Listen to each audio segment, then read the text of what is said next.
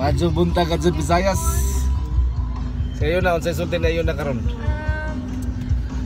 Mo ni ang batang traveler. Indot kayo ang Cordoba no? Padulong mo sa Cordoba.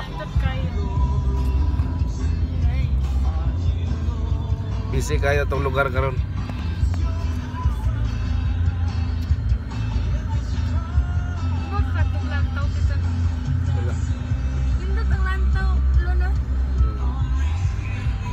Pato ta dito na lantaw.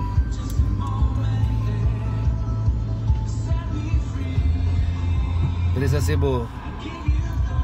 Limpyo kayo hinlo. Kaso lang ang mga dalan gagmay kayo.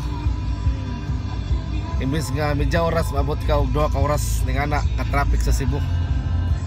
Muna nga paningkamutan lang nato nga musayuta og adto.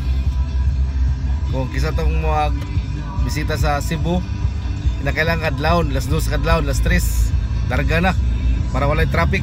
Di ba yun na?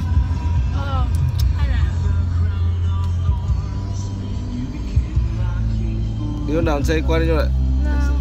Andro, sa may kasulti mo sa Cebu. Limpyo kayo. Ah, limpyo, limpyo kay Cebu. Limpyo kayo. limpyo kayo Cebu. Ha?